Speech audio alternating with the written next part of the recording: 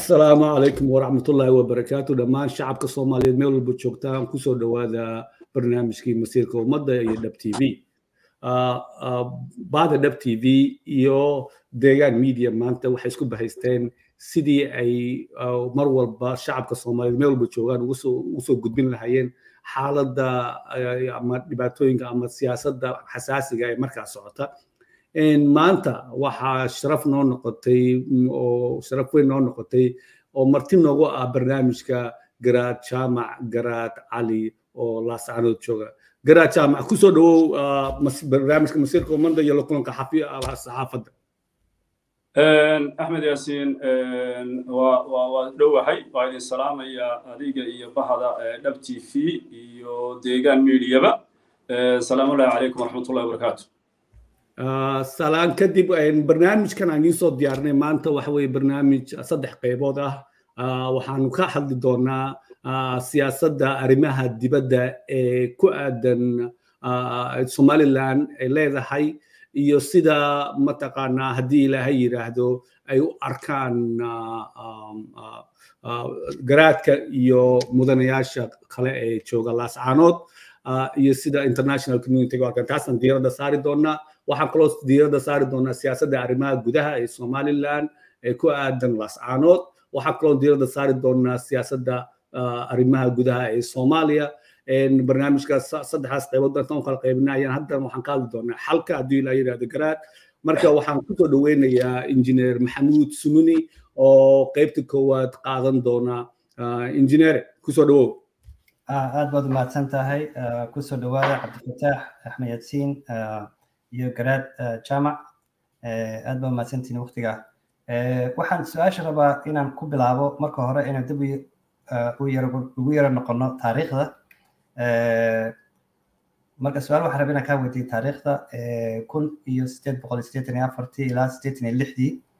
Waxaa jiray heshiisyo lala seexday ingiriiska oo treaty ahaa oo ay beelo badan la seexdeen ciisaha garxajiska habar awal habar jeclo warsangeli gudabiirsi. Waa badnayd dadku laakiin dhulbahanta qayb kama ahayn heshiisyadaas iyo treatygaas laakiin markii dambe ee madax banaani loo ruqaansaday la doonayay in isticmaalka la iska kor qaado ingiriiska ayaa lagu shiray. Garaadku waa ka qayb galay heshiiskaas inkastoona treaty la lahayn ingiriiska. Laakiin markii dambena burburkii dhexe ee dowladda soomaaliya kii shire baa jiray cabdiqani garaad uu ka qayb galay magaalada burco iyo og. Ma noga sheegi kartaa heshiisyadaas iyo siday u dhaceen iyo wixii lagu heshiiyey. Also ma noga sheegi kartaa wax bacdamaa aanu ingiriiska heshiis la gelin beesha aad ka soo jeedda adigu maxaa adiga arrimaha kaa saameeya bismillah. Rabbi nastacinu calaa umuri dunya wadiin وصلى الله على من لا نبي بعد وصلاه الله وسلامه عليه انجنير محمود aad baad umahadsan tahay waa su-aal raantii muhiima si loo fahmo dhibaatada meesha ka jirta oo soomaalidu iyo dadka caalamkuba ay u gartaan murankan iyo dhibaatadan iyo dagaaladan ka taagan u dhexeeya gobollada s c iyo somaliland xaggee buu salka ku hayaa. Sidaad tilmaantay kii yurubiyaanku waxay go'aansadeen in ay qaybsadaan africa waxay soo direen dad sahamiyayaal ah. Dadkaasi beelihii deganaa way u yimaadeen waxayna lahaayeen magangelyaanu idin siinaynaa. Haddeer haddaad aragto magacan somaliland yaan lagu dhuubine waxa weeye waa british somaliland protectorate. Waa dadkii soomaaliyeed ee boqortooyada ingiriisku ay magangelyada siisay. Marka dadkaa treaty yay la seexanayeen heshiis bay la seexanayeen beelbeel baa looga seexayey beelihii aad sidaad sheegtay way la seexdeen. Waxay ahayd in ay iyagana la ilaaliyo wax laga ilaalinayay garan mayno qof dhulkiisii jooga oo deegaankiisii ku nool. Qof caddaan oo keligii socdaa wuxuu ka ilaalinaya annagu garan mayno. Iyo in ay u adeegaan saraakiisha ingiriiska ah ee deegaanka timaada arrintaa tolweynaha aan garaadka u ahay nugaal faalay iyo ilaahay hadduu cayn faalay iyo haddeer gobolladan la yidhahdo s s c badankeeda deganayd xilligaa waxaa noolaa oo joogay awowgay garaad cali garaad maxamuud oo awowgay aabbahay ah awow aabba ii ah. Garaad jaamac garaad cali garaad jaamac garaad cali. Garaad caligaasaa noolaa sida ay qoreen qoladaas hamiyaashu waxay ugu yimaadeen meel lamagooyaan la yidhaahdo oo haddeer ilaa labaatan kilomitr laascaanood korka xigta. Way u sharaxeen wuxuu u socday mudduu deegaamadan uu tustusayey dadka siday u nool yihiin awooddooda dhaqaalahooda. Markaasuu ku yidhi dadkan ma u malaynaysaa in ay magangeliyo u baahan yihiin. Mayuu ku yidhi. Wuxuu yidhi annagu ilaahay mooyaane cid kale oo naga adagi ma jirto markaa sabab aanu magangeliyo kuu sino. Aan aan aan aanu uga dalbanno qof meel keligii marayo aan u raran yahay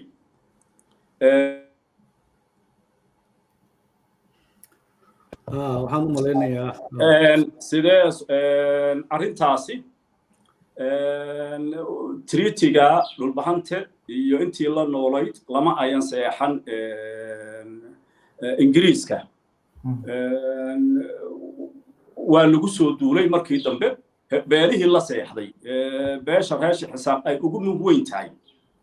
Yaay ingiriisku ciidamo ka qorteen dadkan way ku soo duuleen dagaalkaad maqlaysaane dagaalka daraawiish la yidhaahdo saasu uu ku yimid oo ku dhacay. Ilaahay hadduu kuu roon yahay markii dambena labaatan sano kadib waa la jebiyey.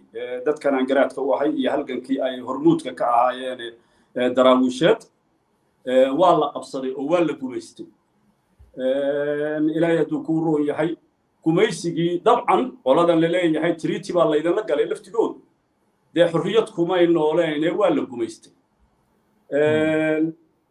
Dhaqdhaqaaqii xorriyadeed dadkani waxay samaysteen s c degan iyo gobolka awdab waxay samaysteen xisbi u s b la yidhaahdo aabbahay cali garaajama baa hog aabbahay cali garaajama yaa hogaamiye ka ahaa. Ilaahay ku rooyay waxa la doonayey u s b oo ahayd samaroon ciise warsangeli dhulbahanta iyagu waxay doonayeen in la xoroobo. Beesha reesha isxaaq way kala jabsanayd baadhiga la yidhaahdo la oran jiray n u f oo michael maryama hogaamin jiray. In xorriyad la qaato ma ayan doonayna waxay doonayeen in toban sano oo maxmiyada sidii koonfurta la galo xisbu islaam oo markii dambena snl isu u wareegay. Yaa iyagana ilaahay hadduu kuu roon yahay xorriyadda doonayey adigu akhirkii waxaa la isla qaatay in dadka taariikhda waa laga xumeeyahay. Ingiriiskay tageen waxaa tegey maxamed xaaji ibraahim ciyaal allah u naxariisto odayga aabbahay cali garaajama xaaji nuur. Adigu shan nin afar nin iyo xoghayntoodii.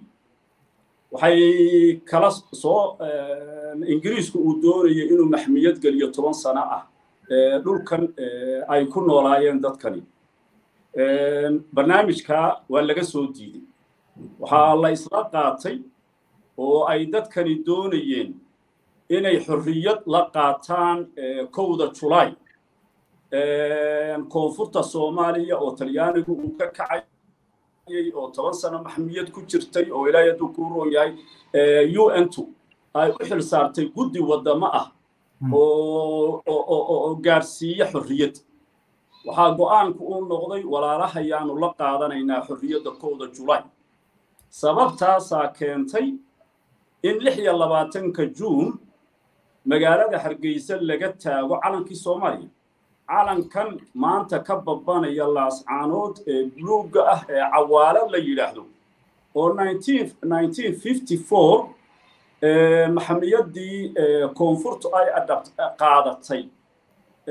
Labiyo tobankii oktoobar yaa waxaa laga taagay magaalada hargeysa si jamhuuriyad soomaaliya la yidhaahdo ay u dhalatay dhulkan ingiriisku uu gumaysan jiray. Wax xorriyad ah oo ay gaar u qaateen oo ka duwan kowda julay haddaad google garaysana waad arkaysaa. Labaatan iyo lixda juun dowliyad dowlad xorriyad qaadatay oo afrikaani ma jirto. Waxa ay soomaaliya qaadatay xorriyadda waa kowda jula kowdii julay dowladi kama dhalan halkan. Ilaahay hadduu kuu roon yahay dowladda keliya dhalatay waxay ahayd jamhuuriyaddii soomaaliya ee kowdii julaay calanka buluugga ah iyo dowladnimada qaadatay ee u n two ay aqoonsan yihiin. Waxaa nasiib darro ah in dad waaweyn ay ku sheekeeyaan calan gaaraanu lahayn iyo calan baanu qaadnay iyo xorriyad baanu qaadanay iyo soddon dowladood baana aqoonsaday waa ina wax kama jiraan. Waa ina wax kama jiraan dowladdu maxay ahayd meesha ka dhalatay? Magaceedu muxuu ahaa? Ma magacii gumaystahay qaadanaysay somaliland british protectorate bay ahayd. Madaxweyne yaa ka ahaa dastuurkeedu muxuu ahaa calankeedu muxuu ahaa. Wax dowladnimo la yidhaahdo oo labaatan iyo lixdii juun xorriyad qaad dowlad xorriyad qaadatay lixda labaatankii juun oo soomaaliya ka dhalatay oo hargeysa laga lagu caana shubay. Ma ay jirto? Cid aniga iiga dhow oo la weydiinayaana ma jirto dee aabbahay baa ka mid ahaa. Ilaahay hadduu kuu roon yahay mas'uuliyiintii ugu sarsaraysay ee ka talinaysay labadii xisbi xisbigii labaad ee majoritiga ahaa marka ilaahay hadduu kuu roon yahay taariikhda waxaad moodaa soomaalidu inay taariikhdii aan caruuraha la taariikhdii soomaalida aan la barin in wixii la doono qofkii uu doono uu sheekaynayo ka sheekaynayo la rumaysto madaxdii soomaaliyeed ee qaranka madaxda u noqotay laftigeedu inayan taariikhdii jamhuuriyaddan iyo waddankani uu lahaa aad moodo in aan aan waxaba yaraatee aqoona ay u leeyihiin inayan jirin. Taasaa oggolaatay in beentan odhanaysa jamhuuriyad somaliland la yidhaahdaa la aqoonsaday oo dhalatay labaatankii juun. Maxaa calankii soomaaliya ee buluugga ahaa ee haddeer taagan? Hargeysa looga taagayay. Haddii dowlad aan taasi ahayn meesha ay ka dhalatay. Waan gartay. Aad baad ugu mahadsan tahay sidaa taariikhda noogu fasirtay. Garaad waxaan doonaya inaan waan ku soo noqon doonaa taariikhda because sida runti in allaha xaq maalin horean ka wada hadalnay dadka populationka dadka hadda ugu badan soomaaliya boqolkii toddobaatan waa waa dad yaryar oo burburka ka bacdi garaadsaday oo aan taariikhda si fiican u hayn. Marka waa muhiim in taariikhda soomaaliya dib loo raaco.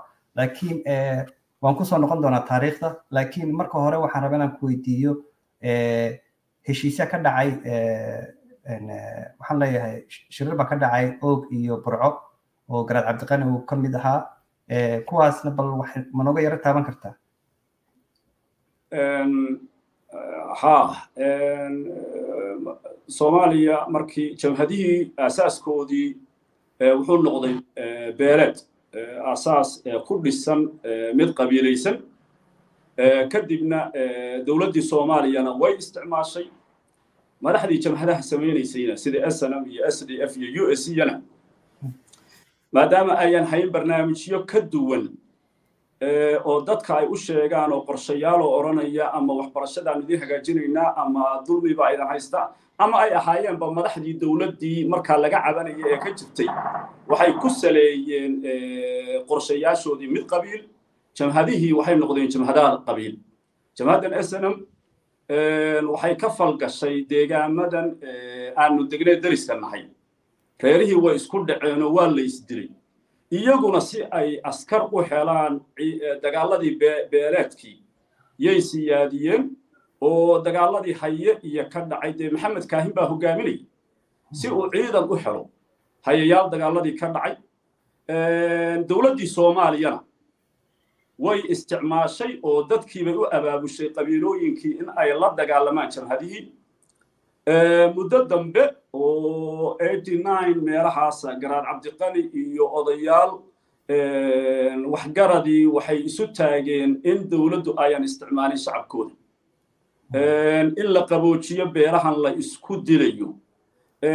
Waxaa ka horreeyey oog iyo burco iyo waxaa ka horreeyey heshiis danlood ka dhacay waxaa ka horreeyey heshiis qararro ka dhacay waxaa ka horreeyey heshiis gowlalaale ka dhacay.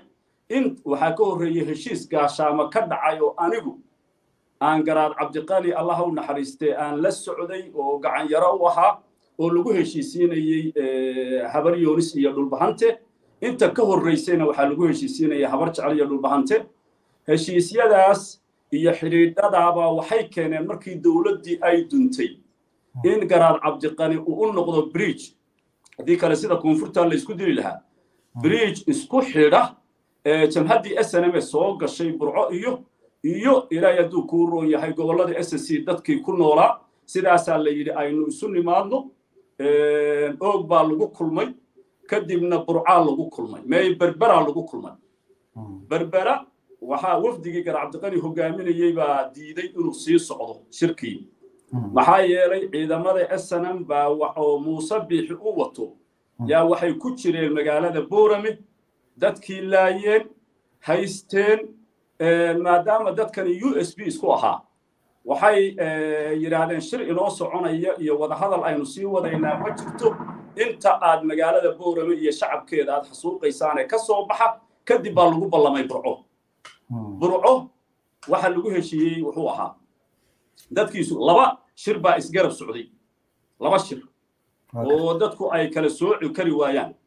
Shir wuxuu uga socday golihii dhexe ee snam shirna wuxuu uga socday beelihii waqooyiga wada deganaa.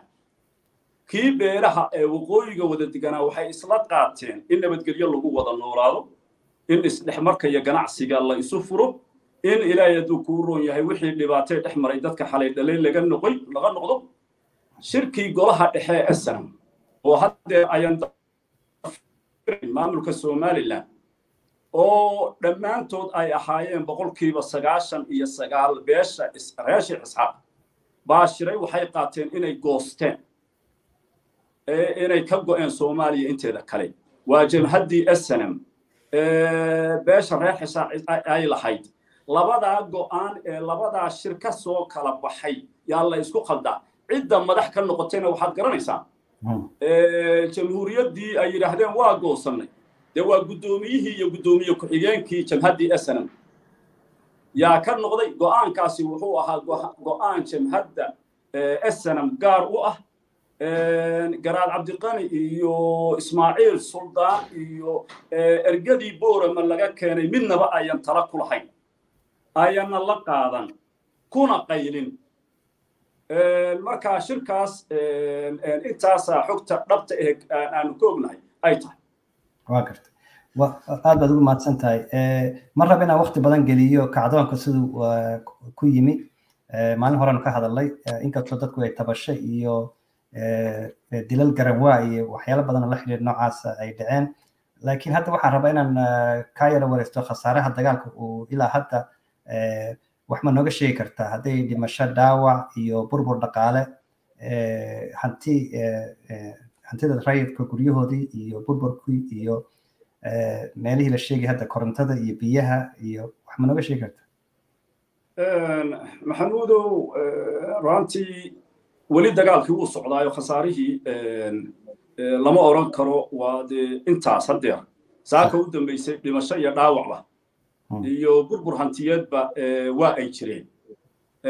Intaan ognahay geeridu waxay ku dhowdahay ku dhowaad laba boqol. Giver take. Ilaahay hadduu kuu roon yahay.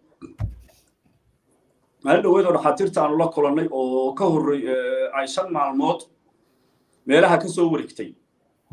Ciida inta xabadi ku dhacday kun iyo boqol iyo googo. Yay ku sheegeen. Ilaahay hadduu kuu roon yahay dhaawaca keliya afar shan maalmood ka hor loo gudbiyey garowwe yaa afar boqol iyo goog ah waa dhaawicii cuslaa ee laascaanood iyo kalabayl wax lagaga qaban kari waaye. Ee garowa loo gudbiyey baa afar boqol iyo googo ah. Guryuhu magaalada bar baa dunsan. Cusbitaalkii weynaaye magaaladu waa dunsan yahay.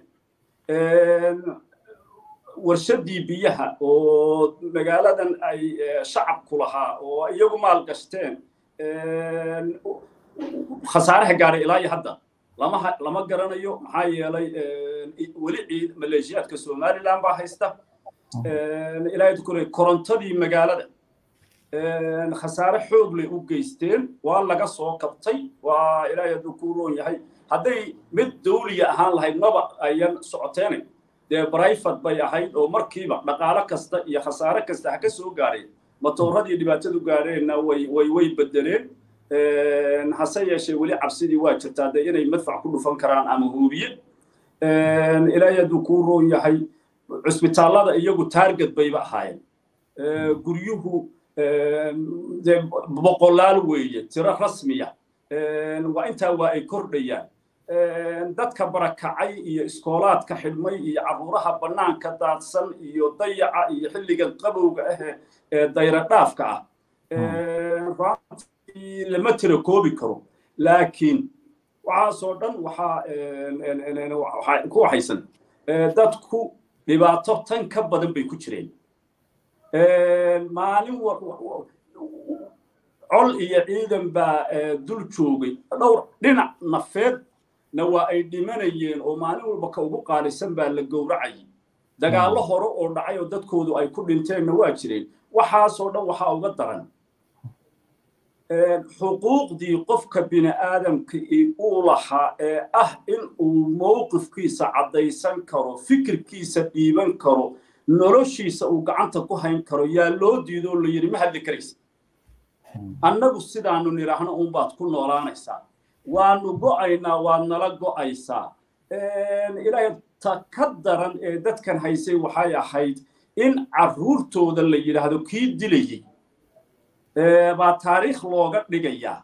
Oo koodbuur iyo ilaahay dukuroy ina kaahin iyo lixle iyo taariikh reer leeyahay oo weliba xun oo ah qaranka dumistiisii oo ah saraakiishii ay garanayeen ee dadkooda laynayay ee beelaysnayd. Yaa taariikh la yaa taariikh la idinka dhigay carruurtiinna waxaani wax laba qof oo dhintay iyo boqol qof oo dhintay keliya ka kacay. Ma aha waa level levelis isdurdur saar saaraa oo dadku mar keliya ay matageen markay raantii dadku waa dad dulqaad badan. Mar keliya taasaa waxay keenaysaa maanta hooyada ku dayacan ama xudun ama taleex ama ama kalabaydh ama ilaahay hadduu ku leeyahay xeryaha etoobiya joogtaa inay ku faraxsanaato inay halkan joogto dulligiisaa raase laga dulqaado. Farxad bay ku qabaan way ku qalbisan yihiin inay dhibaatadan u dulqaataan si dhibaatadii ka weyneed ee haysatay. Ay uga baxaan oo mar carruurtooda ay nolol wanaagsan ugu noolaadaanoo ay ilaahay dukure magaaladooda si xorriyada ugu noolaadaan. Waan gartay. Su'aal baan rabaa inaan ku weydiiyo actually saddex geesooda kadibna waxaan ku soo wareejinayaa axmed. Su'aashu waxa weeye marka hore dadkii waa haajireen oo meeshii waxay noqotay magaalo colaada oo laysku galay. Dadkii waa barakaceen dadkii badi xaggee ku sugan yihiin ma deegaanka u dhowdhow bay u qaxeen? International community malada soo xidhiidhay? Ardaydiisa maxaa laga yeelayaa? Iskuullada dhiganayay ma iskuullo kala loo raadinaya oo deegaanada u dhowdhow ta saddexaad aan ku weydiinaya waxa weeye taariikhda wax badan baad ka hadashay. Ardayda ma loo dhigaa taariikhda dagaaladii eightkii iyo onekii burburkii dowladda dhexe eightkii dagaalkii hargeysa iyo halgankii daraawiishta tan hore aan dadku deegaamo badan meeshan waxaa ka qaxay tirada waa la yaraynayaa ilaa afar boqol oo kun oo qof dad ku dhow. Ilaa iyo xudun iyo taleex ilaa iyo meesha la yidhahdo buuqoodle ilaa iyo etoobiya ilaa boocame ilaa hawdkaa sare ee kalabaydh iyo wixii leh. Iyo qof walbaaba meeshuu islahaa geedaad harsata baad ka helaysaa ama barkad reerkiinu leeyihiin baa ku taallay oo aad biyo ka cabbi karaysaa. Ayay u qaxeen. Intii awooday magaalooyinka waxbarashadu ay ka socoto oo raantii aan mahad badan u naqayo iskoolaadka ku yaalla puntland garowe burtille gaalkacyo boosaaso reerihii aaday in waxbarashadiina bilaash looga dhigay. Iskoolaadkiina la yidhi ardaygu meesha uu marayay ha kala qabsado.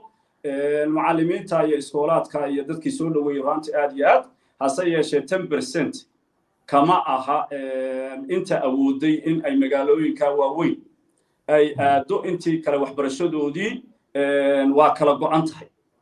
Ilaahay hadduu kuu roon yahay waana de khasaaro generation hal sano inuu ardaygu dib u dhaco de aad iyo aad bay culays ugu tahay nafsadiisii iyo reerkiiba.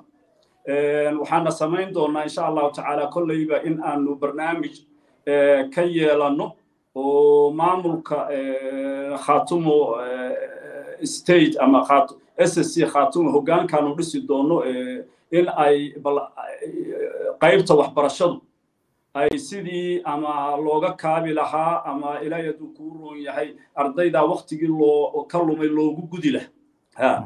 Insha allahu tacaala waanu ka tashan doonaa. Tan kale maamulkan meesha haystay iyo annagu isku taariikh. Ma aanaan ahayn runtii taariikhda soomaalida wixii taariikhdoodu waxay ka bilaabantaa markii jamhadda snm la sameeyey taariikhdaasay iskoolaadka. Meelaha ay joogeen ee laascaanoodii ay ka mid ahayd ay ku dhigi jireen taariikhdaasina taariikh madow oo qarandumisa oo qabiilaysi ah oo dad lalaayo ah oo ilaahay hadduu kuu roon yahay gabyaagana reer keliya laga soo qaadanayo jamhaddii taariikhdeedii iyo taariikh reer leeyahay. Yaa dadka loo dhigayo waana ta keentay.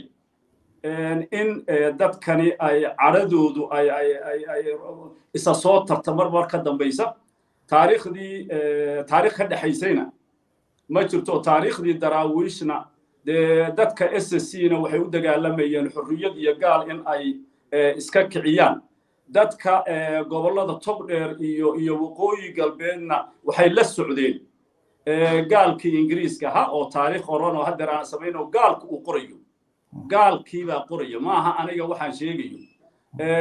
Marka taariikhdaana ma ayan qorayn. Taariikhdii jamhadda snmna waxay ahayd jamhadda snm dee jamhad laynaysay dadkan reer s c oo u laynaysay qabiil ahaan. Marka isku taariikhna ma ahayn taariikhda la dhigayana miday dadku ku cadhaysnaayeen bay ahayd. Aad baad ugu mahadsan tahay axmed baan ku soo wareejinaya waa mahadsan tahay. Inta aanan aanan aanan siinin cabdifataax waxaan rabaa laba laba point inaan ma waxaad leedahay garaad taariikhda somaliland iskuuladeeda lagu dhigo mataqaanaa sool ay ka mid ahayd in muddo ah ama ama ha noqoto iyada oo lagu daray si xooga ama ha noqoto iyada oo lagu heshiis lagu joogay. Kuma jirto daraawiishta laguma baro taariikhda daraawiishta miyaad leedahay? Si si mug leh oo macno leh oo waxyaabahay ka dagaalamaysay iyo dagaaladii dhacay iyo gabayadii laga tiriyey iyo ilaahay hadduu kuu roon yahay taariikhda daraawisheed waxay ahayd taariikh soconaysay labaatan sannadood. Markii dambena u ahayd buddigihii qaranka soomaaliyeed iyo gobonnimo doonkii. Daraawiish niman la yidhaahdaa jiray oo mooyaane sida jamhadda snm oo qarankii soomaaliyeed dumisay ay ugu magac dhaban yihiin iyo gabayadii laga tiriyey boqolkiiba shan lagama soo qaadan taariikhdii daraawiisheed waxa lagu dhigayay iskoolka waxayd boqolkiiba sagaashan iyo shan taariikhdii jamhadda snm buugaagteediina waa yaallaan oo waa qoran yihiin oo dee waa makhaatimadoon sax. Waxaan rabaa inaan ah, cabdifitaax aan ku soo wareejiyo waxaan ku dhex jirnaa qaybtii arrimaha gudaha. Cabdifataax ku soo dhawow. Garaad mar kale waad ku mahadsan tahay inaad naga ogolaatay kulanka inaad nagala soo qayb geshid kulanka saxaafadda. Su'aasha ugu horeysa waxa ay khusaysaa somaliland waxay cambaaraysay oo ay eed dusha uga tuurtay in ay dagaalkan ka socda s s c guud ahaan gaar ahaan magaalada laasacaanood laysku hayo ay puntland ku lug leedahay. Dowlad deegaanka soomaalida ay ku lug leeyihiin kelilka shanaad ay al-shabaab ku lug leedahay iyo cid walba oo rabta burburka somaliland oo ay maswade ku sheegayso marka yaa ma noo sheegi kartaa yaa ku jira dagaalka yaa jira cabdifataaxow khayr allah ku siiyo waa su'aal muhiim ah loona baahnaa in soomaalida loo caddeeyo meeshan yaa ku dagaalamaya marka hore dadkii reer s s c iyo laascaanood ku noolaa yaa arrintan haddiiba laga soo bilaabo kacdoonka oo laga tago s s c iyo buuhoodle iyo kalshaale iyo wixii ka dhacay. Markaa laftigeeda ay ku eedeynayeen in al-shabaab ay joogto laga soo tago khaatumo state dhismihiisii iyo taleex weeraristiisii iyo saax dheer oo aniga xarun ii ahayd gogoshii aan dhigay la soo weeraray ilaa shirkii aanu halkaa ku haynay. Oo runtii gurigaygii allaabtii taallay ciidanka somaliland ay bililaqaysteen waxaasoo dhan markaynu ka soo tagnay haddeerna idhaahno waxaa kacdoonkan iyo dagaal ka dhashay. Markii hore de sidii adduunku wada og yahay waxa meesha isku qabtay ee ku dagaalamay waa shacabka reer laascaanood oo ka kacdoomay dulligii meesha yaallay iyo xaqdarradii lagu leynayay iyo ugaarsigii iyo kan maanta soo qabo iyo kan maanta bere iyo taa ka dagaalamay. Waxa loogu jawaabay waxay ahayd xasuuq iyo xabad.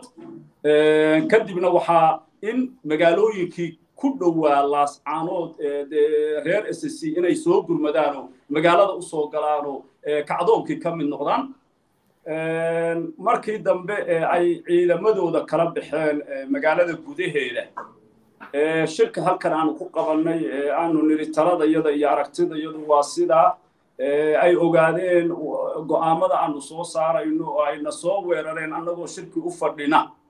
Oo ilaahay dukuuroo yahay akhrinayna qoraalladii magaalada dhinac ka soo galeen oo qabsadeen oo soo dadkii ku laayeenna dee dagaal toosa.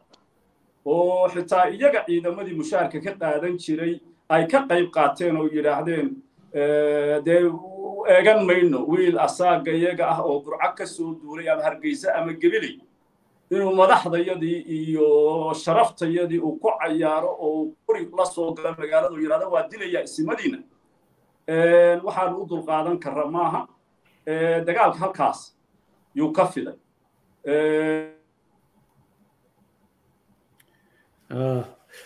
Meeshuu meeshuu garaadhaye raalli ahaada meeshaan joogaa connectionkeediyo waa iska yara waxaysan yihiin. Dagaalku halkaas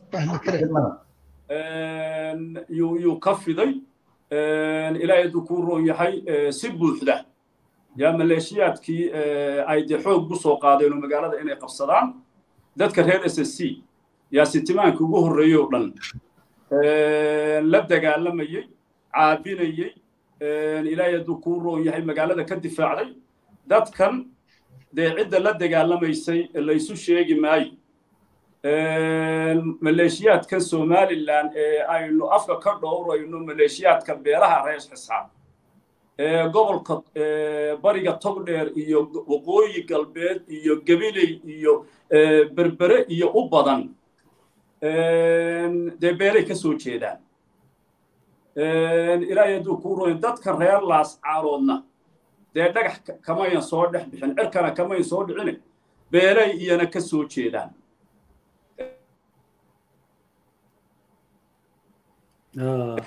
Haddaanba si dadku u fahmayaan si dadku u fahmayaan aan aan u dhigo cidda soo gurmatay. Ee reer laascaanood u soo gurmatay waa beesha harti.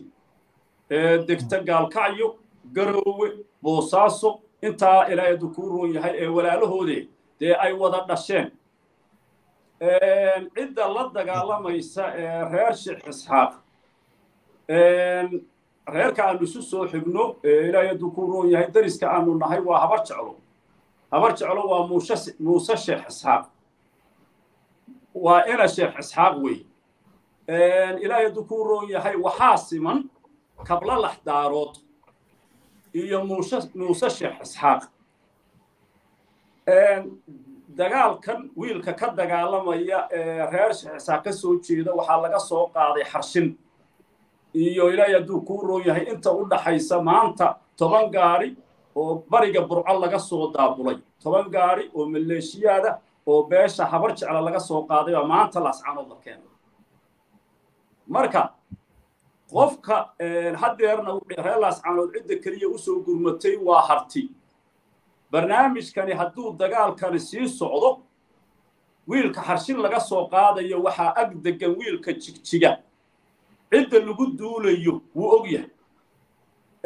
Wiilka dhagax buur jooga marka laga soo qaadayo ilaahay hadduu kuu roon yahay beligubadle dee wuu arkaa. Marka waxaa nasiib darro ah reer shixisxaaq iyaga oo in yar mooyaane isu soo bahaystay in ay dhulbahante la dagaalamaan inay yidhaahdaan sidee buu ka garoowe jooga iyo ka gaalkacyo jooga iyo ka boosaase jooga? Uu ugu soo hiiliyey. Maangaabnimada intaa la eg ee weliba lagu cabanayo ee la leeyahay sidee bay ku timid? Maxaa keenay oo iska galay harti uu isugu hiilinaya? Waa waxa halkan qooqa iyo kibirka iyo haddeer wax ta keentayba taa wey marka cidda ka dagaalamaysa waa abdifraca waa arrin mataqaanaa aad iyo aad iyo aad xasaas marka cidda ka dagaalamaysa ma aha puntland maamulka puntland wuxuu leeyahay ciidan wuxuu leeyahay madaxweyne wuxuu leeyahay ku-xigeen wuxuu leeyahay hay'adihii dowladda oo dhan toban jeer bay ku celiyeen annaga maaha dadka ka dagaalamaya meesha hadday xitaa isku dayaan beelaha degan puntland inay ceshaanna kuma guulaysan karaan. Maxaa yeelay beeluhu iyagaa hubkooda leh iyagaa raba tolkooda inay u hiiliyaan ilaahay hadduu kuu rooyahay sabab ay uga celiyaanna. Maba ay jirto dee dadkoodii baa lagu xasuuqayaa laascaanood marka arrintani iska daa in ay harti keliya tahay cidda soo gurmanaysee?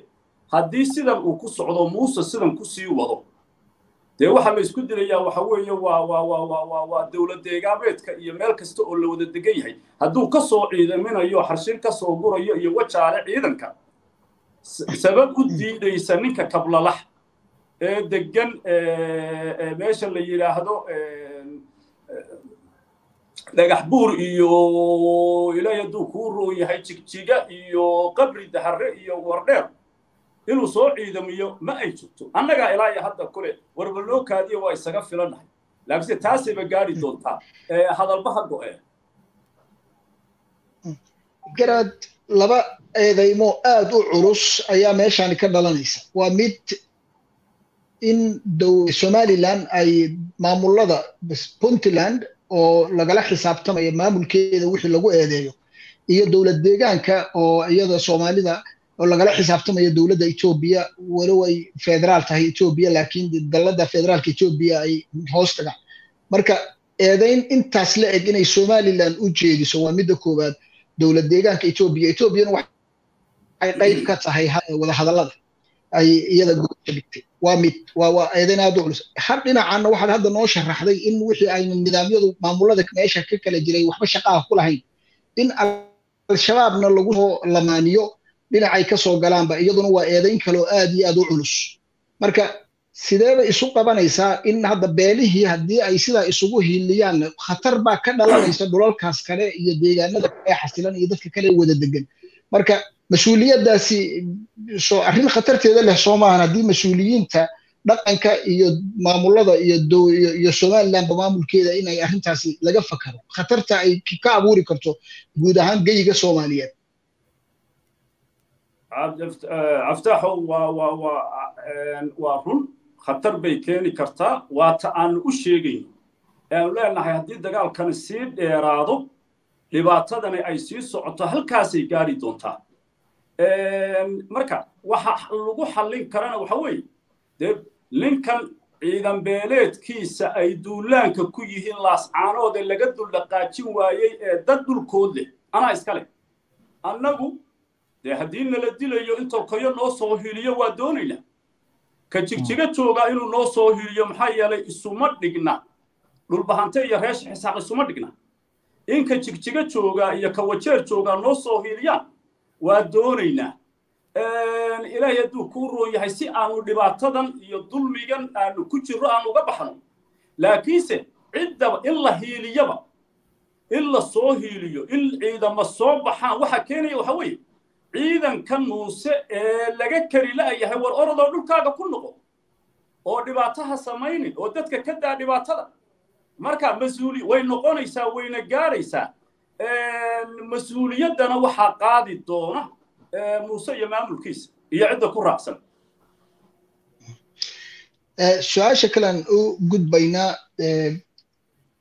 dhinaca dowladda federaalka ee soomaaliya wax muuqda oo ay weli ay arrintani ay hadday tahay wax muuqda oo la tilmaami karaa ay weli uga qayb galeen ma jiraan. Ta kale way diideen in ay dowladdu madaxweyne xasan sheekh inuu laasacaanood uu tego ama ay dowladduba ka qayb qaadato wadahadallada ay international communityga beesha caalamka ay waddo iyo iyo gogasha la dhigayba. Marka haddii marka intaas aad ka sugaysaan magaalada muqdisho. Waa tii adinkuna in sool sanaag iyo cayn iyo maamul samaynteedii aayaheedu ay qayb ka noqon doonto federaalka toos lagu xusay kulankii ka dhacay kulamadii ka dhacayay ee lascaano marka arrintaas dee la isku waafajinaya. Horta aftaaxow runtii dowladda federaalka soomaaliya iyo madaxweyne xasan sheekh maxamuud ra'iisul wasaare xamse cabdi barre guddoomiyaha baarlamaanka cabdimado aadan madoobe runtii dadaal xoog leh. Yay ka geysteen in dhibaatadan guri soomaaliyeed lagu xalliyo in soomaaliya ay xallisato in ay soo dhex galaan inay odayaal soo diraan. Hase yeeshee maamulka somalilan iyo muuse bixiba arrintaa diiday una arkay in ay cadow inay soomaaliya ku tahay somalilan marka waxay qaban lahaayeenba dee maqal soomaalidu waxay tiraahdaa maqalku ogol baa dhabtaada la saaraa. Annagu waxaanu ku mahadinaynaa dhaawacyadii lagu daweyn kari waayey garoowe iyo carma. Oo runtii carmo laftigeedu dhakhtarkeedu iyo reer carmaba aad baan u mahadinayaa dhakhtarka lafaha. Waxay u qaadeen dowladdu waxay u qaaday magaalada xamar. Dadka reer muqdisho si kal iyo laab ah yay u soo dhoweeyeen. Dhakhaatiirtii baa loo furay waa la daweeyey baan baa loo geeyey. Reer muqdishona aad iyo aad yaan u mahadinayaa dowladdaana dadaalka iyo qaadistaa haddeerna waxay dowladdu ka shaqaynaysaa intii xamar waxba lagaga qaban kari waayey dhaawacyadooda cuslaa in ay dibadda ula tacaasho oo lagu soo badbaadiyo. Marka dowladdu inay dhex gashana waa doonaysay inay odayaal soo dirto waa doonaysay hase yeeshee arrintaa dee haddii dhinac ka midii uu leeyahay aniga cadowgayga koowaadba waa soomaaliya. Dee sidaad odhanaysa adigu su'aasha iigu dambaysa waa xaaladda barakacayaasha dagaalada noocan oo kale markay dhacaan musiibo gudaha ah iyo xaalad amni darro iyo barakac oo dadka ku ridi karta inay xaalad ilaa heer macluul iyo dhibaato iyo cuntiyari lagu dhaco. Dadkii aan weli ka barakicin oo deegaanada ka fogaanin iyo kuwa rayidka ee weli jooga xaaladooda waa sidee ma nooga warrami kartaa beesha caalamkana weli wax cad oo dadka lala soo gaaraya hadday tahay barakacayaasha gudaha ku sugan weli iyo kuwa ka gudbay xuduuda. Runtii dhibaatadaasi way jirtaa. Haddii aan dagaalkani dhaqso u dhammaan oo ayan maamulka somalilan ciidankiisa ayan kala bixin sidii international communityga iyo dowladaha darisku ay kula taliyeen oo ayn oog ku noqonna way sii badanaysaa sida ugu habboon waa in magaaladoodii ciidamadan iyo deegaankooda looga baxo si ay u soo noqdaan guryahoodii ay ugu soo noqdaan dayac badan bay qabaan iyada laysu sheegi maayo. Dad barakacay oo gurigoodii ka baxay oo dhul aan u diyaarsanayn u baxay oo aan loo diyaarsanayn hase yeeshee hay'adaha international communitygu dadaallo badan bay wadaan berigii hore dadku hay'adahani waxaa monobeli ku haystay oo hargeysay soo mari jireen. Oo ku lacag qaadan jirtay dhibaatada dadkan. Waanu diidnay wax hay'ad ah oo noo soo martaa maamulka somalilan inaysan jirin. Marka haddeer garowe iyo gaalkacyo iyo xamar iyo bay soo maraan. Wayna soo gaargaareen hase yeeshe ee dee baahi bini aadam ilaah unbaa kifayn kara baahidooduna dee waa reer dhan oo qaxay waxbarashadii caafimaadkii saxadii ilaahidkul cuntadii hooygii wixii waxa dadkan maalin bay iyagoo iska degan oo nabad ku nool xabad lagu bilaabo marka dhibaatadaasi way badan tahay. Waxoogaa waa jiraan soo gaargaaray hay'adaha deegaamada qaarkood yimid. System iyo cid la shaqaysaanu u samaynay. Marka insha allahu tacaala inay soo kordhiyaanna waa rajaynaynaa rabbiga raxmaanka ah baase dadkiisa ku filan oo aanu allah caza wajalla weydiisanaynaa inuu dhibaatada naga dulqaado oo dadkana dul jooga ee dhibaatadani wax kale maahe waa ciidanku nagu soo duulay uu guryahoodii nooga celiyo. Aada u mahadsan tahay garaad axmed yaasiin aan ku soo ku celiyo waa mahadsan tahay garaad intaanan bal aniga aanan arrimaha dibadda aanan gelin waxaan rabaa inaan bal aan wax kala caddeeyo.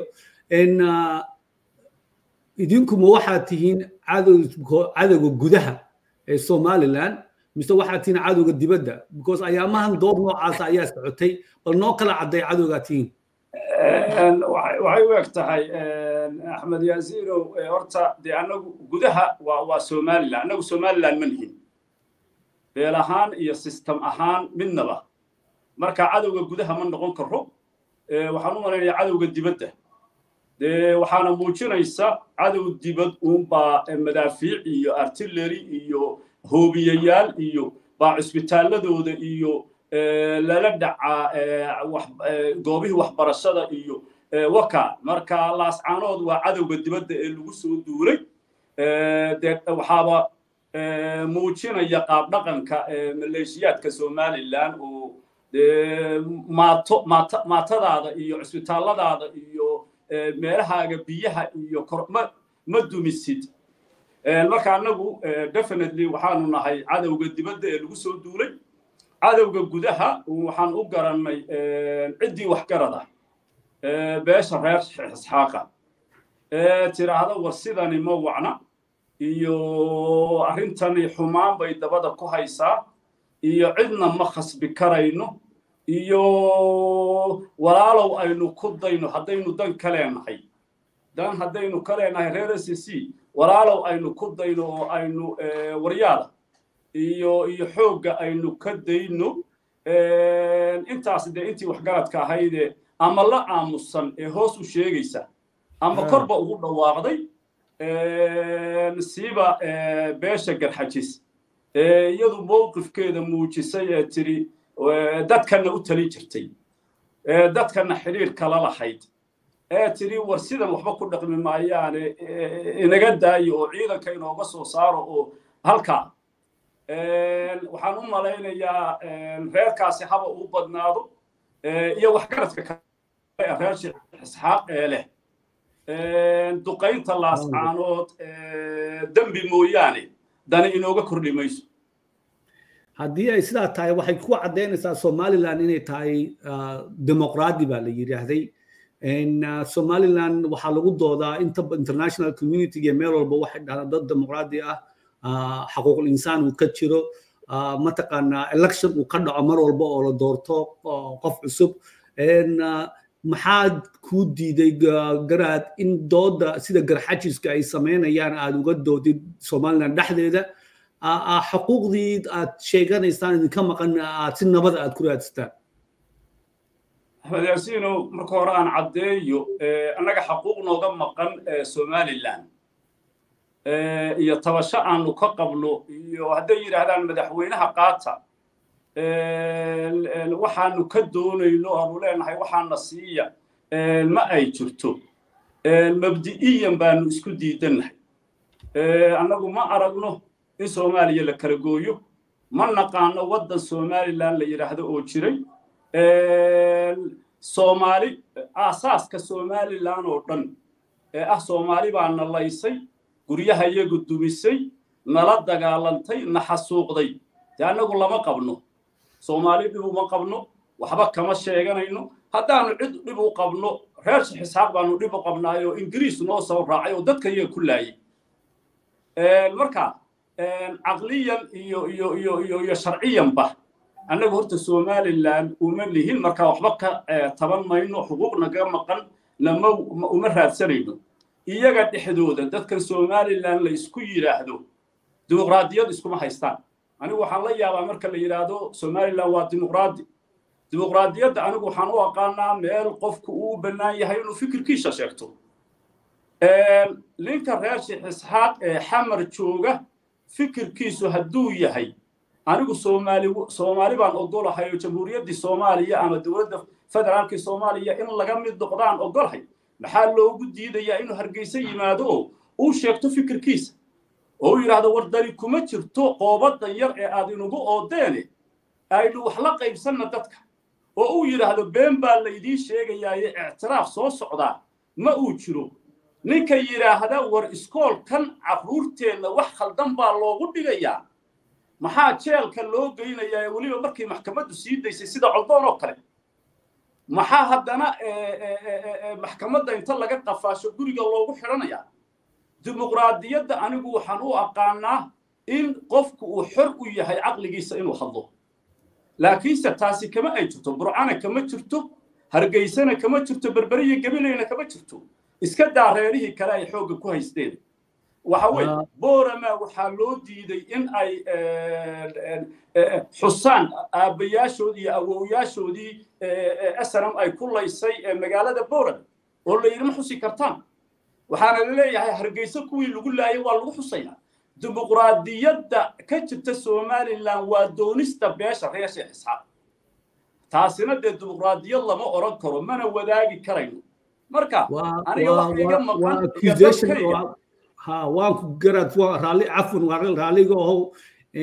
waxa weeye waa accusation weyn iyadana tan aad sheegaysid wasiirka arrimaha dibadda iyo wasaaradda arrimaha dibadda iyo arrimaha gudaha iyo warfaafinta intaba waan la xiriirnay.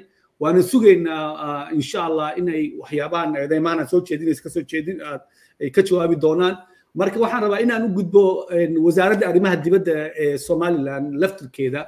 Baryahan iyaguna mataqaanaa dagaal waxay ku jireen mataqaana difaac somaliland ah iyo siyaasadeeda ah. Wasiirka arrimaha dibadda waraysiyo badan baa lala sameeyey oo meelo kala duwan uu ka sameeyey ama war-saxaafadeed uu sameeyey. Wuxuu kow idinku soo accuse gareeyey twitterkiisa ina in argagixiso lala dagaalamayo. Laba wuxuu aan mataqaanaa barnaamij waraysi lala sameeyey. Wuxuu yidhahda waxaan nahay buffer zone oo waxaan nahay dadkii ka ilaalinayay etoobiya dhibaatooyinka argagixisada iyo waxa la midka ah argagixiso ma joogtaa so laascaanood haddii ilaahay yidhaahdo cabdimadoobe se argagixiso ma yahay. Axmed yaasiinow horta cabdimadoobe waa nin reer s s ya. Waa guddoomiyaha jabhadda s s c. Ilaahay hadduu kuu roon yahay waa wiilkayagii waa xubnaha ugu firfircoon ee ka qayb qaadanaya xoraynta dadkan iyo dalkooda. Wuxuu yahay baanu la nahay. Ta labaad somaliland maamulka hargeysa muddo fara badan buu wuxuu lacag ku qaadanayay deegaamada s s c waa deegaamo argagixisa joogto. Etoobiya dhaqaalo badan buu kaga qaadanayay. Mar wuxuu lahaa onelf baan ka ilaalinayaa iyo alitixaad. Haddeer dambena wuxuu lahaa waxa weeye waa etoobiya waxaan ka ilaalinayaa argagixiso. Ilaahay hadduu kuu roon yahay adduunkii way soo dhammaatay sheekadaasi. Reer xamarkaa oran jiray ey baa cunay.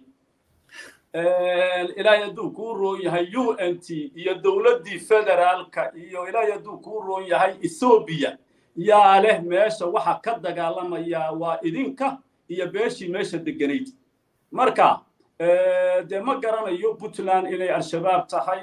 Waa tiliya puntland baa ka dagaalamaysa haddeerna dee dowlad deegaameedkayba yidhaahdeen waa ka dagaalamaysaa new boolisku goormuu noqday argagixiso. Marka arrintani waa raantii waa wax laga yaqyaqsiyoodo wuxuu boqor cabdilaahi baa lahaa been waxa u liida tala garanayo been qofku waa sheegi karaa. Laakiinse maalinta la ogaado inuu been sheegayo markaasu hadal hadal waxa u liita been la garanayo.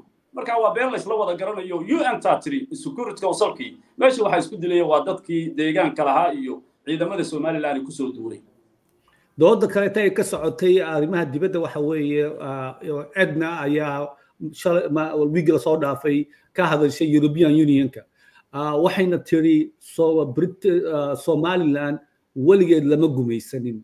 Oo annaku waxaan treaty la galnay mataqaanaa hadduu ilaah ku roon yahay boqoraddii dhimatay. Arrintaas somaliland weligeed lama gumaysanin ah horta markuu horeysa fikirkaaga marka labaad oo aan sii raacsanay waxa weeye yaa la gumaystay oo somaliland ka mid ah yaana xornimo yaana independent qaatay. De waa waxyaabaha haddii taariikh la rabo been in lagu dul dhiso way iskhilaafaysaa way isqabanaysaa. Taariikhda somaliland waxay ku dhisan tahay been. Kow waa runteed beesheeda beesha reer xisaaq waxay la gashay heshiis boqortooyada ingiriiska.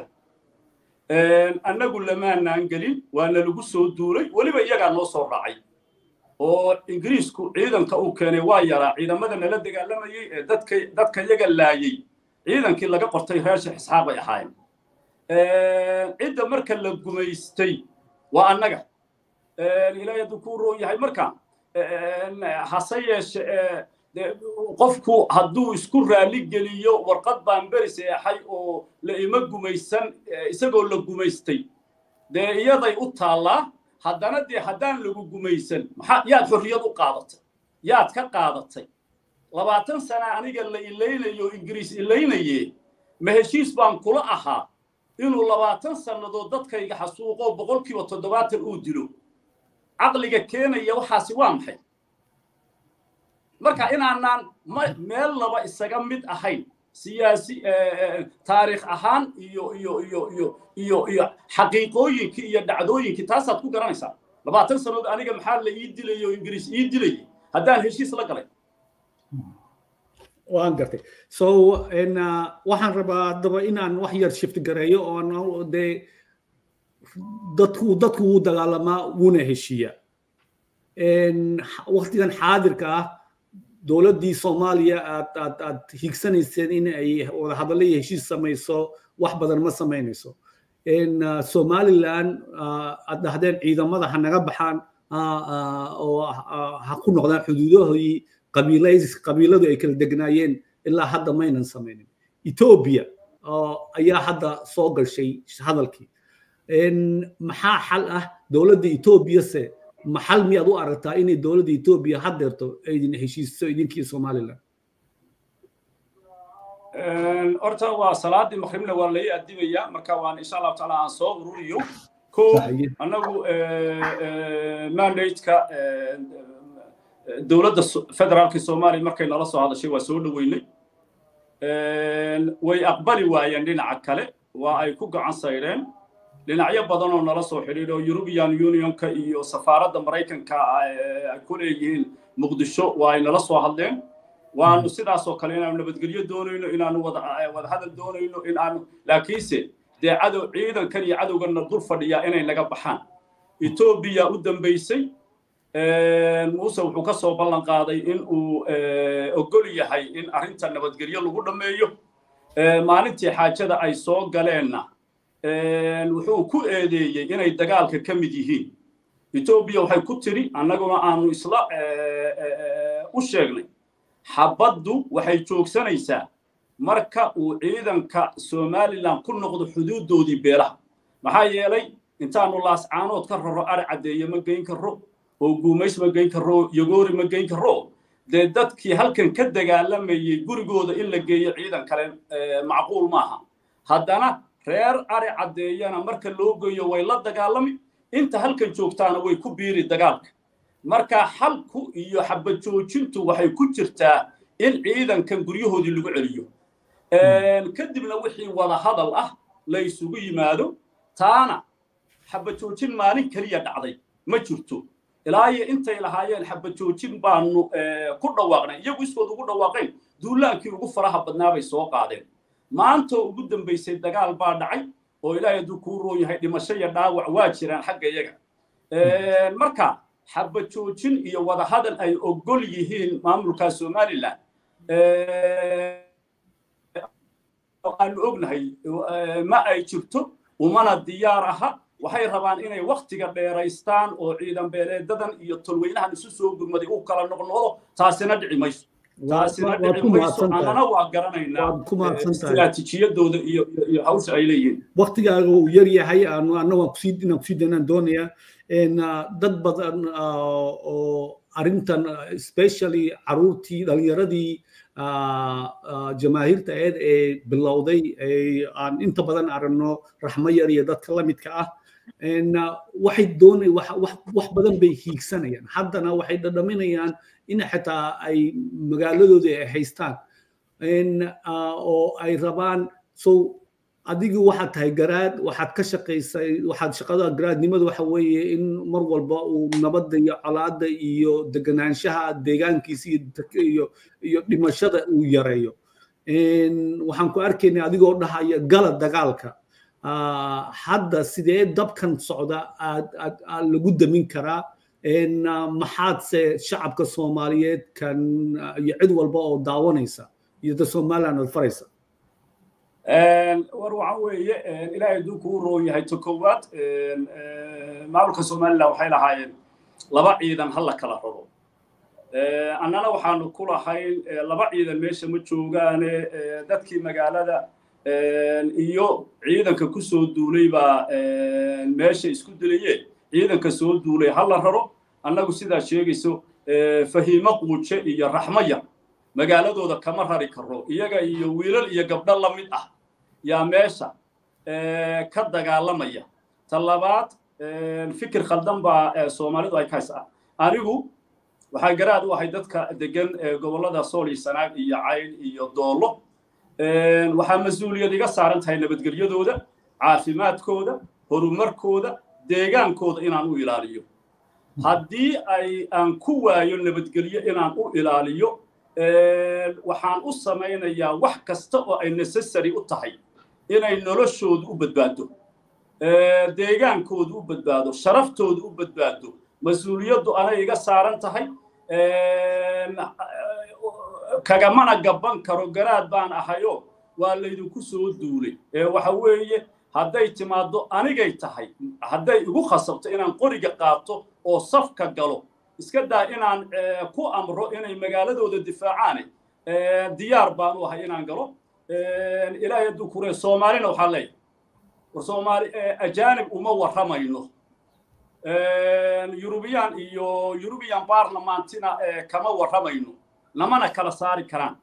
Soomaalida idinkaa yaqaana waadna taqaanaan sidaanu u kala degan nahay waadna taqaanaan beela inaanu nahay waadna taqaanaan inaanu dhulka kala leenahay. Arrintan ha ka aamusina haddaanu khaldan nahay oo aad leedihiin reer sheekh isxaaq siiya dhulkiinna. Xaq bay u yeesheen oo xasuuqan ay sheegayaan.